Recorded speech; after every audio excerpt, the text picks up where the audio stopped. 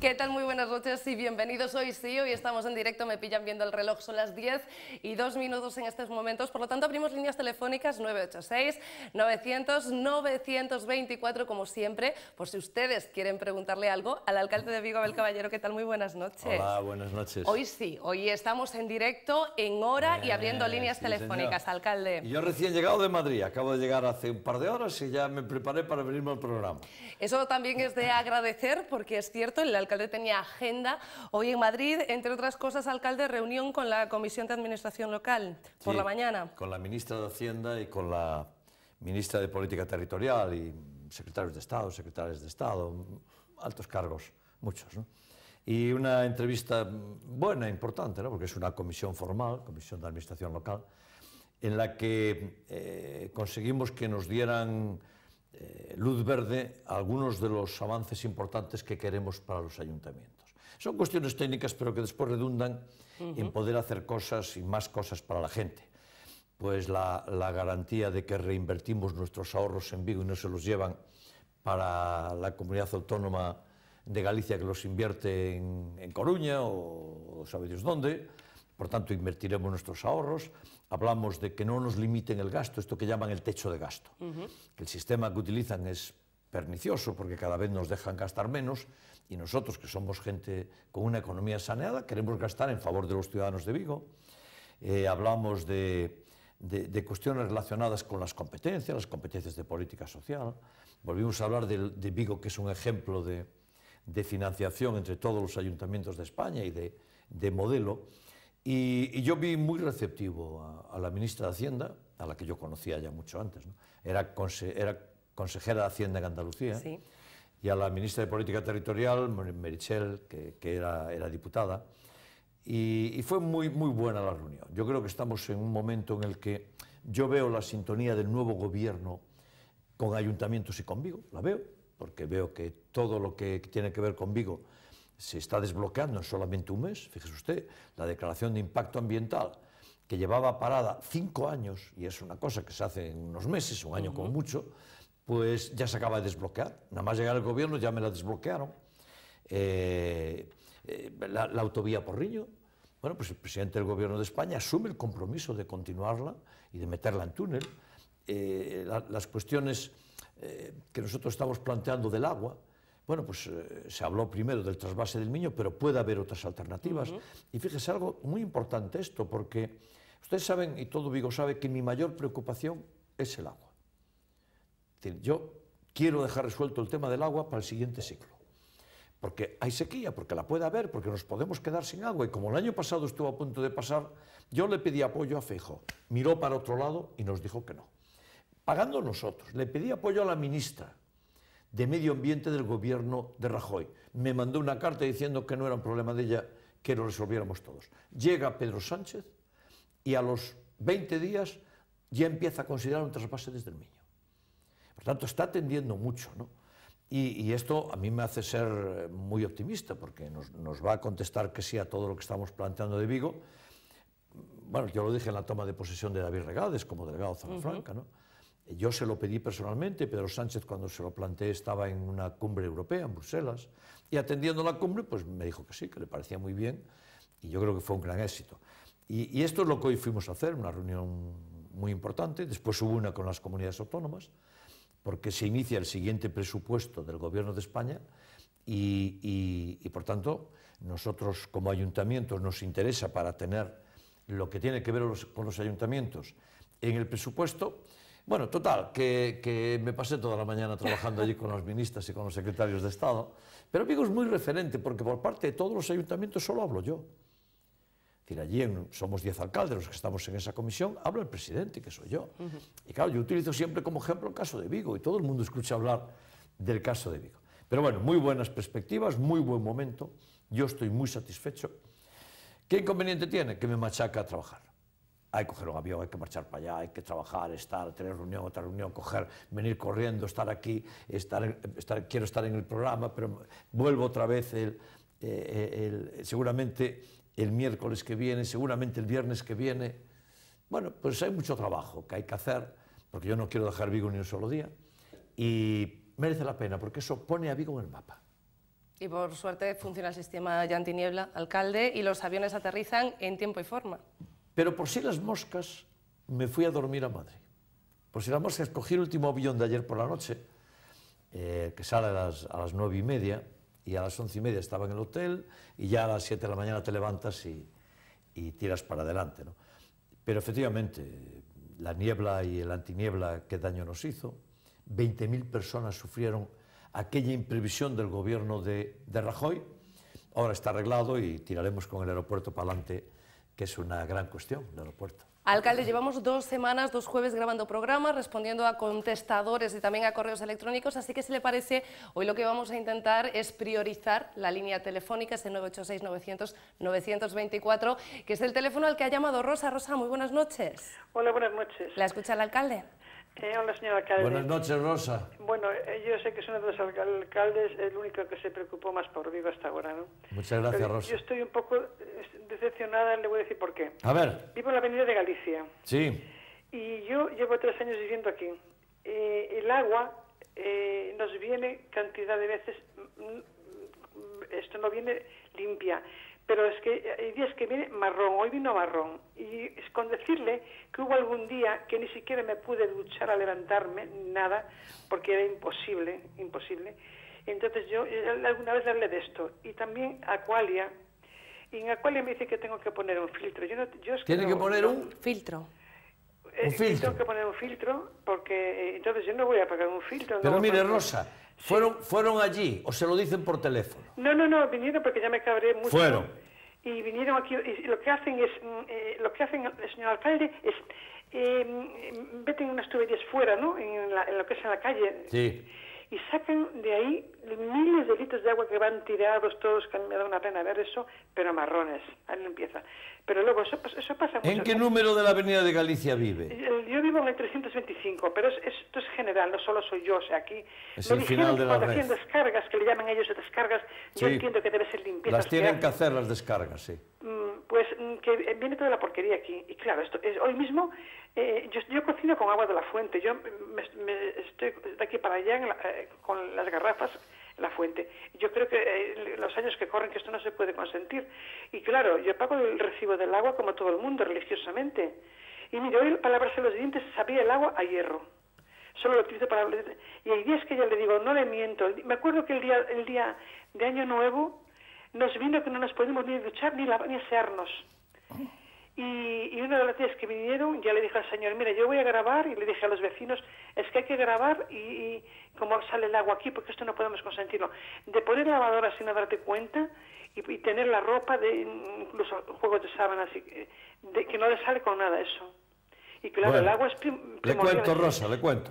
Vale. Y entonces yo, por favor, le digo, señor alcalde, ya Tomo que... cartas en el asunto. Otras cosas que yo le he pedido, que por favor que eche mano de esto. Ya le digo cómo lo estamos haciendo. Muchas Pero- gracias, Rosa. Muchas gracias, Pero le voy a contar una anécdota. Hace un mes el agua en mi casa salía como está diciendo Rosa. Y entonces llamé, llamé. Y de acuerdo me dijeron, pues no hay ninguna avería, no hay nada. Entonces, claro, esperé un poquito, pero el agua seguía saliendo así. Era nuestra caldera que la habían limpiado. Éramos nosotros. No era Aqualia, éramos nosotros. Quiere decir que cuando le dicen que, que pongan un filtro, bueno, es que mm, aquella es, es- es zona final. Y allí se hace una cosa en los finales de, de las redes, y es que se hacen purgas, se vacía de vez en cuando, porque en el final el agua no circula. Pero si le, por eso yo le pregunté si le habían dicho de poner un, si el filtro yendo a casa. No, eso es que no es la red. Eso es que no es la red. De todos modos, Rosa, yo voy a mandar que lo vean, porque nosotros estamos haciendo...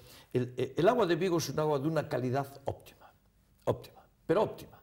Segundo, estamos cambiando tuberías por todas partes, por todas partes. Cambiamos cientos de kilómetros de tuberías. Yo quité tuberías del centro de Vigo, en la calle Pimargal, que una vez la enseñamos aquí, y produce, pero eh, vamos a seguirlo, vamos a cambiar todo. ¿no? Ahora, el agua en este momento es óptima. Siempre lo fue. ¿Qué sucede en el final? Y por eso no hay que alarmarse. Eh, se, se hacen purgas, se, se vacían, porque el agua tiene que circular siempre. Claro, al final de las redes hay algunas zonas en las que eso no hace, entonces se purga. Que una vez fue allí uno de Izquierda Unida a protestar porque se quitaba el agua. No, es que es obligado en los finales de red, aquí en Ululú, que se tiene que purgar. Yo, de todos modos, eh, y, después yo les digo que el agua de Vigo es agua perfecta, impoluta, perfecta. Eh, puede haber un día en el que pueda pasar algo en alguna zona y el agua venga un poquito más turbia. Aquí llega un lululú. ¿eh? Decir, incidentes en traídas de agua de esta envergadura y en grandes ciudades siempre puede haber alguno, pero siempre es potable. ¿vale? Luego, Rosa, yo voy a hablar con Aqualia, le voy a preguntar, por eso le preguntaba el número, ¿no? y es bastante adelantado, Avenida de Galicia 325, es ya bastante adelantado de la Avenida de Galicia. Voy a preguntar a ver qué pasó en este análisis, pero si le dijeron de, de poner un filtro, fue por circunstancias ad hoc, son circunstancias de lo que pasa en esa casa y en esa red. Porque muchas veces también sucede, y nos pasó en un colegio de la Junta. El agua entrando, calidad en el momento de la entrada, 100%, óptima y perfecta. En, el grifo, hierro. Fuimos a ver las cañerías, estaban mal. Junta de Galicia, tiene que cambiar usted las cañerías. Hasta hoy, sin cambiar.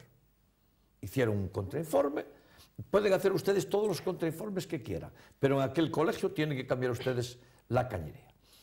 Y, después, insisto, puede haber una incidencia, una avería. Por eso yo cuando salió así, llamé. Dije yo, caray, ¿qué, avería más grande tiene que haber para que el agua salga así, así de, turbia? Era nuestra, era nuestra traída, era nuestra casa. Yo vivo en un bloque de viviendas, somos muchas vecinas, muchos vecinos, y ese día, pues estaban con la limpieza. Pues claro, el día que están con la limpieza, lo pagamos todo. Pero Rosa, yo de todos modos, eh, que siempre lo hago, eh, le, veo esto. Eh, contenido de hierro en este momento en el agua, por debajo claramente de los niveles máximos permitidos, claramente por debajo. Porque cuando, cuando la presa se va vaciando, el contenido en hierro sube un poquito, uh -huh. un poquito. No, pero en este momento el contenido en hierro es bajísimo. Por suerte o por desgracia, el verano no ha sido del todo bueno, alcalde. Bueno, para el agua es muy bueno. Claro. Yo, yo estoy no contento porque a mí me gusta el sol y el calor, pero estoy contento porque está lloviendo y en este momento el, el, la presa de Eiras está al 100%, uh -huh. 22 hectómetros cúbicos. Pocas veces sucedió que en esta época estuviera al 100%, ¿verdad? de tal modo que, como está vertiendo más de lo que tiene que verter, aún baldeamos un poquito. En el momento que esté en el 99,9, paro el baldeo, porque no vamos a correr ningún riesgo. Y empezaré a decir a la gente, quietos, es decir, ahora con, hay que hacerlo con sentido común, pero bueno, el agua, hay agua, ¿verdad? Estamos echando al río más que el caudal ecológico, uh -huh. mucho estamos echando. Pero es bueno eso, ¿no? En el momento en el que yo vea que hay que eh, tener cuidado, ya lo voy a advertir, porque, porque lo tenemos que advertir. Pero bueno, yo ahora tengo una cierta esperanza, porque veo que Pedro Sánchez empieza a buscar alternativas para Vigo. Por cierto, cuestión que yo sabía porque lo hablé con él. Pero bueno, se lo dejo al presidente de la Junta, que es el que corresponde.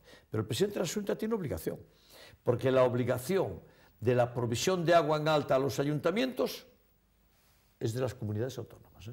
Así que muchas gracias, Rosa, y yo veo esto. ¿eh? Alcalde, seguimos con preguntas, dudas, quejas, sugerencias, lo que ustedes quieran, porque ustedes mandan también en este programa. Así que saludamos a Olga. Olga, ¿qué tal? Muy buenas noches. Hola, buenas noches, María. Soy Hola. Olga, de Travesía de Vigo. Buenas Olga, te noches, escucha el Olga. alcalde. Hola, buenas noches.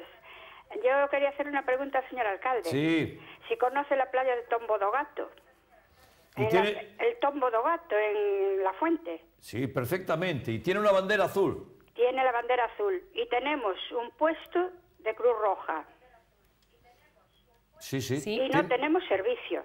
Si nos pasa algo, nos, nos ahoga, se ahoga alguien o cualquier cosa, tenemos que ir a Samil corriendo. No, a ver. ¿Le a ver. parece bien? Es que tiene, es así, ¿eh? Es decir, el puesto de la Cruz Roja está en Samil.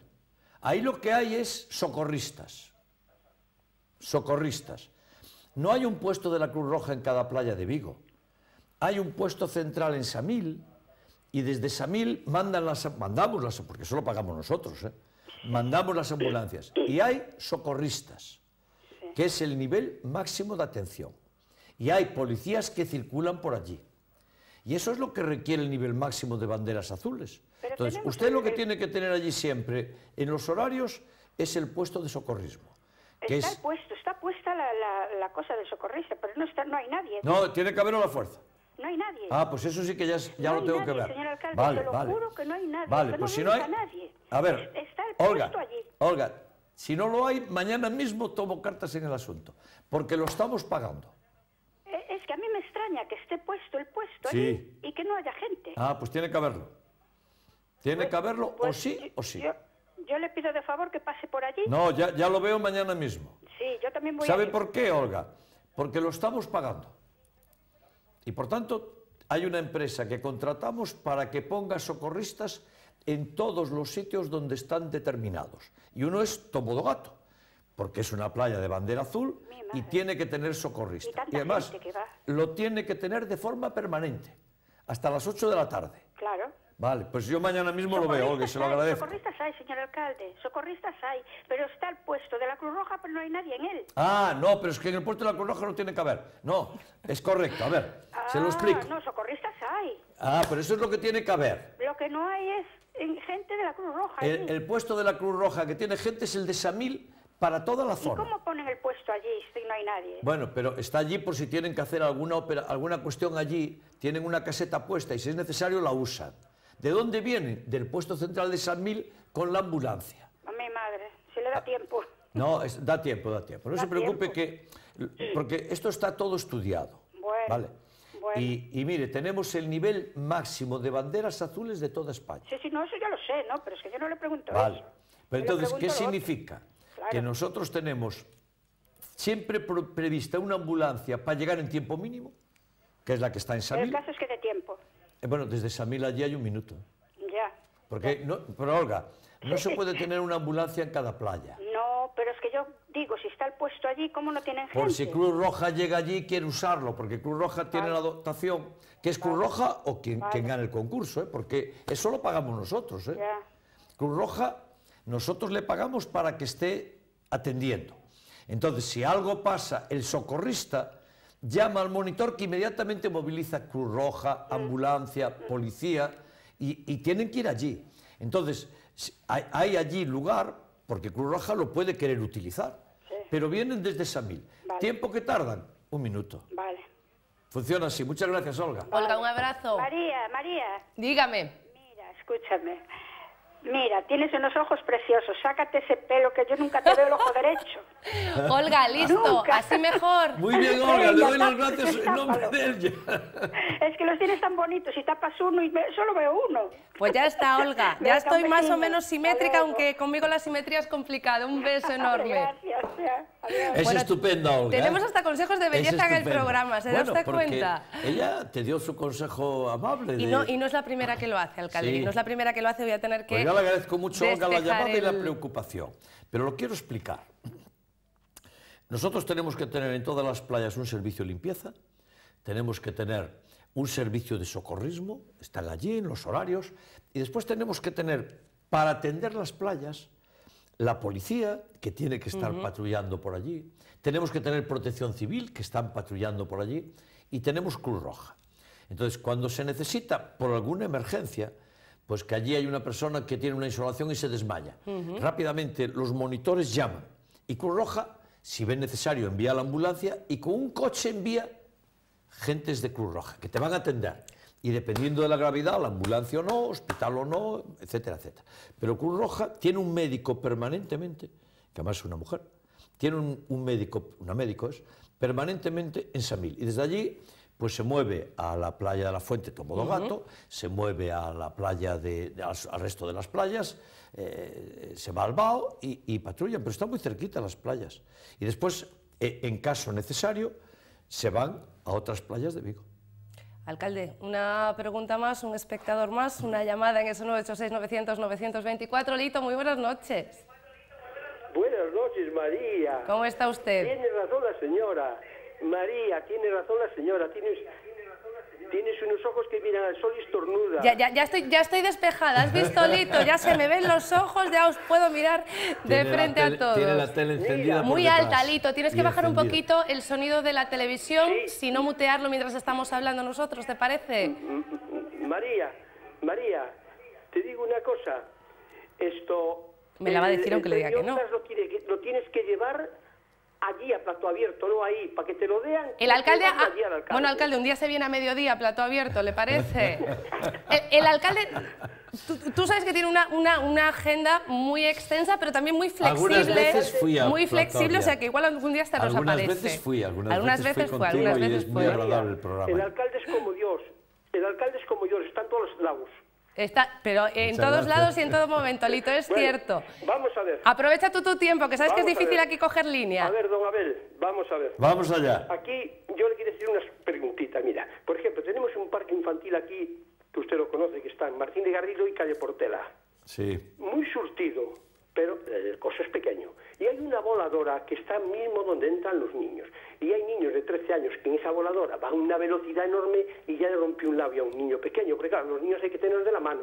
Pero claro, si los tienes de la mano no disfrutan porque no vas a andar con un niño de la mano.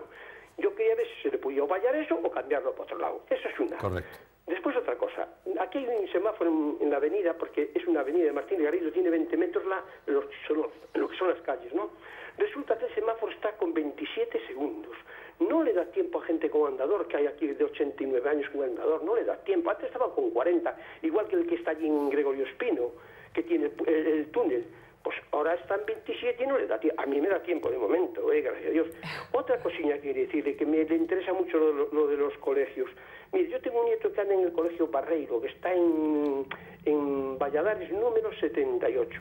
¿Qué pasa? Que cualquier día va a haber una desgracia porque las madres, como donde salen los niños, le queda le el paso de cebra le queda 60 metros. Entonces, ¿qué hacen? Cruzan por donde es el paso de cebra, porque le queda muy arriba, ¿no sabe? Entonces Sí. yo quería saber, quería saber si eso no se podía traer un poco más hacia abajo, porque le queda muy cerca, muy lejos, y cruzan, al salir del colegio ya cruzan por allí. Y por ahí Correcto. pasa bastante coches, ¿eh? Que no Correcto, es sí. ninguna, ¿eh? Sí, sí. Entonces quería saber, si es tan amable, cómo se puede hacer. Correcto. Otra cosilla. Y los de Vicasa, por favor, cuando negocie con ellos, no solo tienen que estar a las maduras, también tienen que estar a las duras, porque el domingo es que hay que esperar una hora por vitrasas, el domingo, es un calvario. Y también le voy a decir una cosilla, a ver si se... La última, Lito, que nos quedamos sin tiempo. Ya voy ahora, María, perdona, las marquesinas, don Abel, en vez de ser tan grandes, se podían hacer a la mitad, porque hay sitios que hay una o dos personas solos, y se pueden poner paneles informativos, porque son muy grandes y, y- y- y valen el doble, y entonces se podía de uno hacer dos. A ver si me entiende. Y otra cosa, don Abel, no se pueden entrar inversores extranjeros como hace Portugal los alcaldes. Eso es una cosa. ¿Qué ¿Cómo? pasa No- con no entendí? Inversores extranjeros. Há- Háblame despacio, Lito. Ah, le quiero decir que Portugal, los alcaldes pueden entrar inversores extranjeros aquí, cosa que aquí los alcaldes de, de España no están autorizados, ¿no sabe? Y allí en Portugal sí. Y yo no sé cómo aquí no. Y también las, las terrazas, don Abel, a ver si un poquito de mano dura porque ocupan todo y las aceras no son de ellos solo. ¿eh? Hay gente que va con un carro, yo voy con el carro a la compra muchas veces, tengo que bajar por la... Es una broma. Ah, y. ¿Y qué pasa con las pistas de atletismo que la Junta de Galicia la Junta de Galicia iba a arreglarlas. Me parece que Sí. nada más- menos mal que ya tengo una camiseta donde pone la Junta de Galicia discrimina, imagina Vigo. Buenas, María. Buenas noches, Lito. Para premio Ondas cuando, vaya, cuando sea plato abierto, ¿eh? Un besiño enorme. Buenas noches. Contestamos ahora después de publicidad. Yo creo que nos da tiempo a contestar, aunque sea la mitad, alcalde. Aprovechemos el tiempo. Bueno, empezamos con las pistas de atletismo. Bueno, esto era otra de las mentiras de la Junta. Claro, es que las mentiras de la Junta son continuas, ¿no? Nos prometieron hace cuatro años que iban a dedicar dos millones y medio de euros a la reforma de las pistas de atletismo. Pasaron todos este tiempo y no solo no dedicaron ni un euro, sino que nos acaban de negar el permiso urbanístico que se necesita para hacerlo. Habíamos pactado con ellos cómo se iba a hacer para la licencia, para el permiso urbanístico, para cambiar la edificabilidad y poder hacer las nuevas pistas. Y ahora resulta que nos vienen con que no se pueden hacer las pistas. ¿Saben por qué no se pueden hacer las pistas? Porque no las quieren pagar. Y entonces no nos dejan hacer el pabellón de, Valladares, que- perdón, de, de Matamá. De Matamá, sí. Queremos hacer un pabellón en Matamá, tres millones y medio, lo queremos pagar. Nos dicen que no, que no nos dejan hacerlo. No nos dejan hacer las pistas de atletismo. No nos dejan hacer accesos a colegios. Son las mentiras de la Junta. Es lo que siempre supimos. Nos niegan el, la- el poder hacer eh, la Gran Vía, no nos dejan acabar Camelias, no nos dejan acabar eh, García Barbón. Bueno, es la oposición total de la Junta. Es decir, la Junta está dedicada total y exclusivamente a torpedar esta ciudad. ¿Y saben por qué? Por algo muy fácil de entender. Porque el Partido Popular y Feijó en esta ciudad están hundidos en prestigio. Y lo saben. La gente no quiere al Partido Popular de Vigo. Y no lo quiere porque el Partido Popular de Vigo trabaja para Feijó en lugar de trabajar para Vigo. Y tampoco quieren a Feijó. Que por cierto, y hablando de esto, que el Partido Popular de Vigo y Feijó nos expliquen por qué quieren llevar el Celta para Mos y por qué quieren llevar los grandes centros comerciales de Vigo para Mos para arruinar el pequeño y mediano comercio de Vigo. Que no se olviden de explicárnoslo. Bueno, terrazas. Sí, nosotros siempre... Yo, yo quiero que las terrazas son cómodas, está bien, quiero que hagan negocio, es gratis la estancia en las aceras, no les cobramos, pero tienen que respetar que las aceras son de la gente. Esto es fundamental. ¿eh? Las aceras son de la gente que andamos por las aceras, las mamás, los papás, las señoras, los señores, los grandes y los pequeños. No son de los bares, son de la gente. Por tanto, hay que usarlos pues, con, cautela y sabiendo bien que la prioridad son los peatones.